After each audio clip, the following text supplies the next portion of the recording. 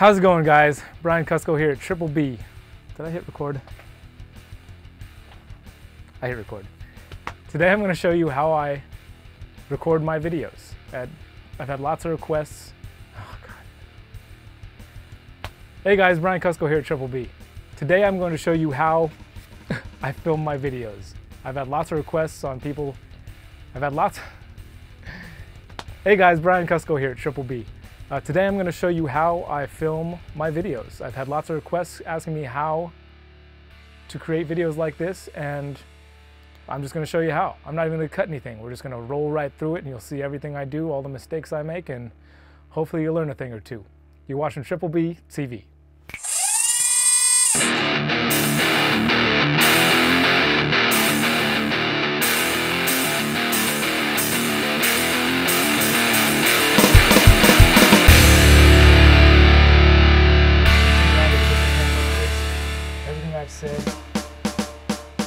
All right, so I've got a GoPro strapped to my head so you guys can follow along and see everything I do. And if you ever want to have a really serious conversation with somebody, just strap a GoPro to your head. Guaranteed serious conversation. Um, so you're also gonna get to see how messy my house is, but whatever, it's a mess. Here's my magical bag. I've got it on wide view, so I hope it's picking up everything here. It should be, it's the widest angle possible on this GoPro, so it's my bag where I keep all my fun stuff. take it on road trips and whatnot. Go to see uh, Freedom Breeder and go down to Jake's place and all those other videos. Soon when I'm on the road, this thing is great because it fits all my stands, all my support equipment. Then in here, I got all my cameras and all my lenses. And then right here, got the audio. So audio is very important. I'm sure you can probably hear right now. Somebody is playing with a dustbuster downstairs. So that's nice. So I always unplug all my, I really hope the GoPro is picking this up. Um, I unplug all my batteries and stuff so they don't die when they're just sitting there. And this is a Sony UDP wireless lavalier mic system. And I like the way it works. It gets a pretty good sound out of it, which you will hear now. Right now we're just using the sound off the GoPro, which I'm sure is amazing. But this is what I usually use when I'm picking up people speaking I put it into this, which is the recorder that records the files, and hopefully I've got a card in there right now. Yep. So let's take this thing over to the bathroom so you guys can see me doing stuff as well. Alright, so get this stuff turned on.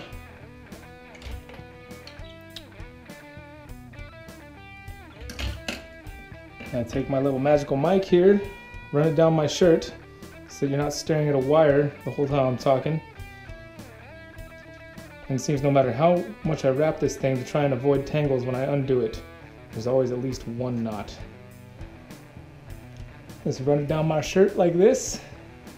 Now a lot of times I like to wear a button-up shirt so I can hide the little clip easier, but sometimes I'm just like, whatever. If you see a little clip, it's not a big deal. But this is how you get some good quality audio. And it's not plugged in yet, so obviously we're still going with the GoPro audio.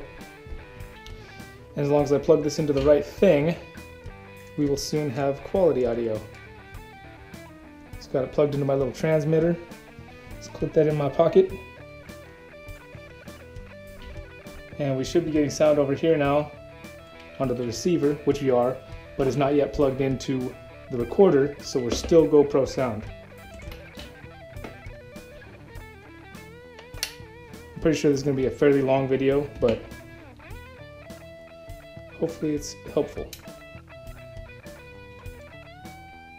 So audio into the microphone, down to the transmitter, transmitted wirelessly from the transmitter to the receiver, out of the receiver, into this little handy dandy recorder right here. Tascam DR40 recorder.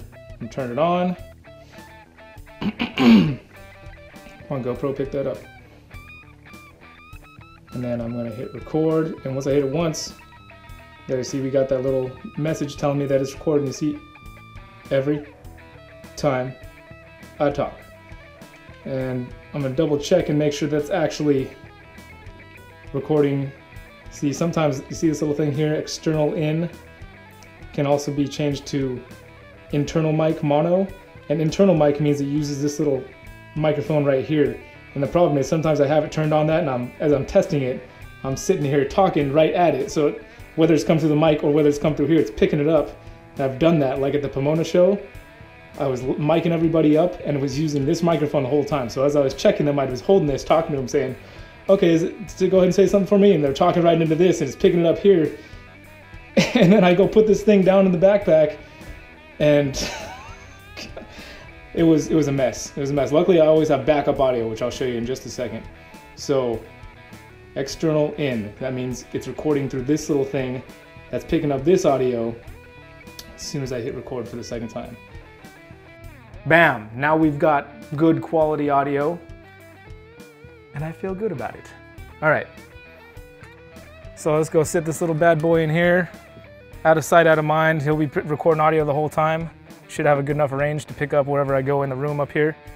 And I'm going to unplug, or at least turn off my fans here, so that when they kick on, they won't cause me a bunch of pain and grief and suffering when I go to edit the audio, stuff falling all over the place. There. All right. So next, let me just double check that we're getting good audio. Always double, triple check. Yep. Fantastic. Okay, step number two is going to be to set up all of my stands and equipment. These are all my lights and light stands right here.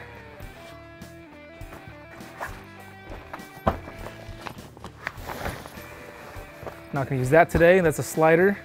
That's my glide cam that I use for getting those nice gliding shots when I'm walking behind somebody, following them, it makes a nice, easy, smooth motions. Not gonna use that today.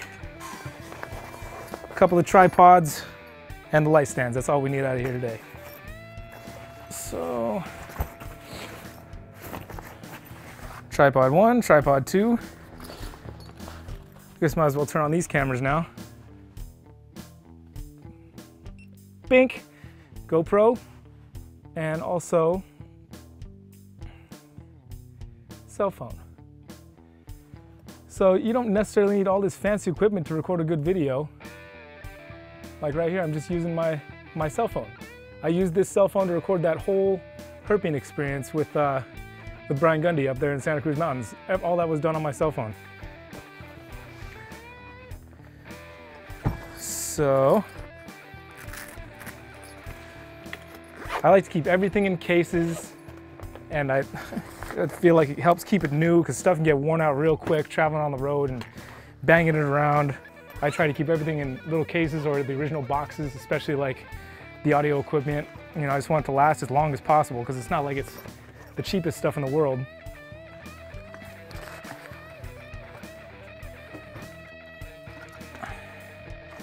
Hopefully my setup process shouldn't take too long. I've done it a couple times, so I kind of know what I'm doing here.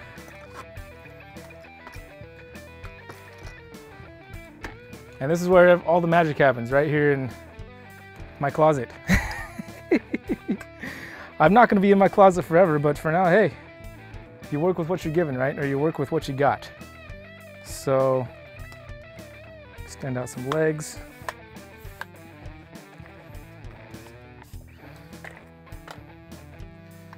Sorry guys, I know this part is not necessarily terribly exciting, but you know, it's all part of the process for making a quality video, which is what this video is about. Do, do, do. Get the tripods kind of lined up to where I know they're going to need to be for the camera. Get a general idea, and then we can fine tune it afterwards. So I usually have one pointed right at me across here, and then the one here that shoots off to get the other angle. So we've got tripods, let's set up the lights.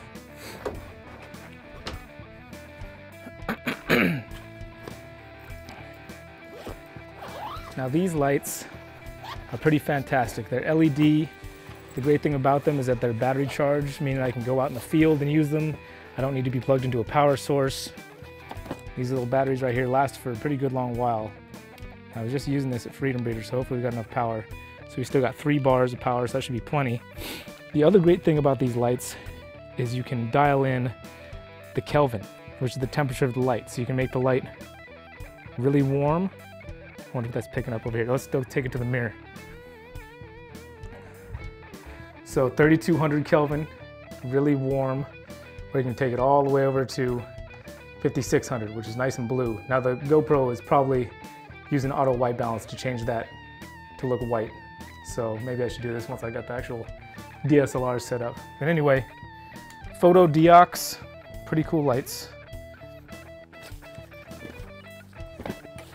And lighting is key to any video, any picture. It's all about lighting. If you want things to look good, depends on how they're lit. Like look at this shot right here. I mean, this is this is my example of horrible lighting. I got like a little bright spot here on my nose, all this stuff coming across here. I got this ugly shadow highlighting how I'm getting older here. so good lighting is key for a good video. If you couldn't do anything else, even if I was just using my cell phone all the time, the lighting would be key to making it look good.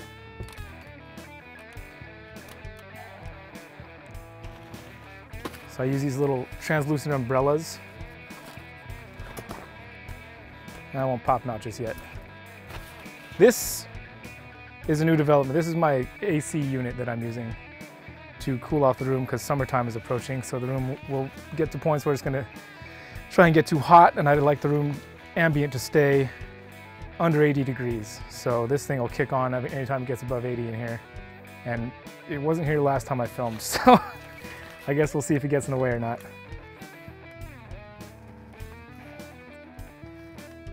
Get it all strapped in there.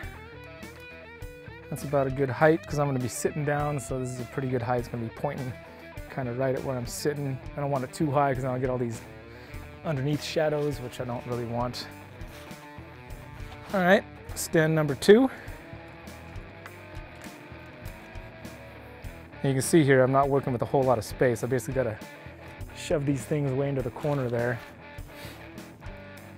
And you'll see how fun that is when I'm dancing around it later. Umbrella number two.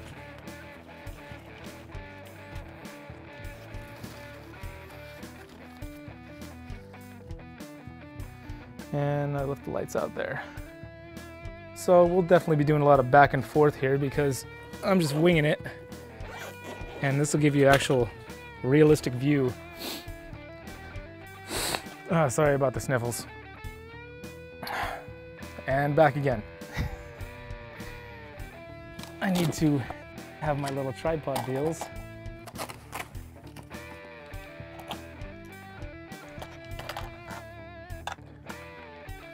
So I twist these bad boys into the bottom of the light so that they will stay attached to the light stand. And this is easily going to be the most exciting part of the video. Ready? See how exciting this is?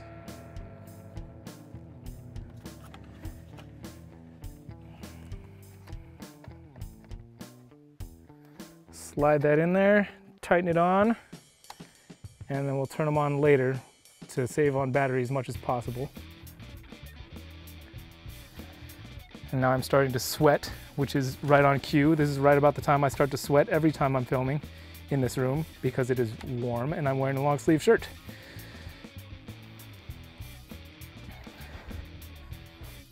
So usually that means I have a cool down period between setting up and actually filming so I'm not dripping sweat through the entire episode.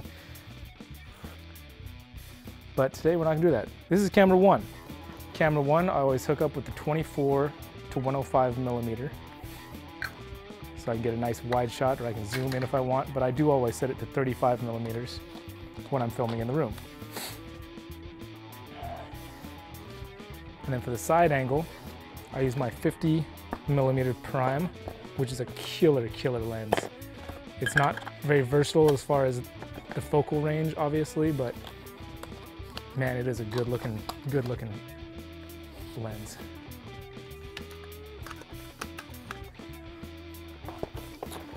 backup audio.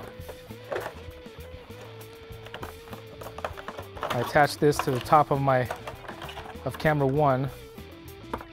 So just in case something happens with my lavalier mic here and the audio goes out, or if I make a big mistake like I did at Pomona, I've still got at least some decent audio to work with. And you can't control everything in the world, but if you can have backup audio it'll save you a lot of heartache for any mistakes you might make or any kind of malfunctions you might encounter. So, set up the first camera.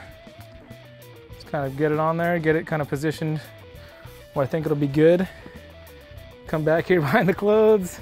This is what I do every single time. Taking off the lens cap is always a good idea. And hopefully you can see this. Set it to 35 millimeters. That's what I find works for this room. I set the white balance to 45 because I'm gonna set the lights to 45 as well so I get a nice white light. If you guys don't know anything about that, it's not a big deal. Get a general focus and right about there I think is usually good. I'm sitting right there so I want to kind of point me in the middle. That'll work-ish. I should just move it over here.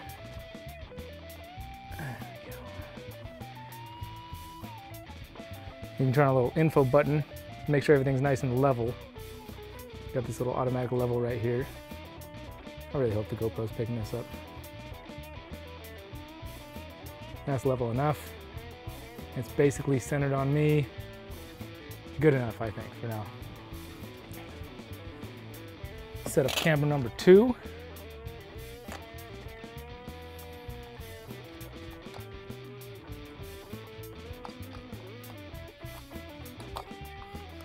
Take off the lens cap. Get it dialed right in. Put the lens cap somewhere where I will find them later or not.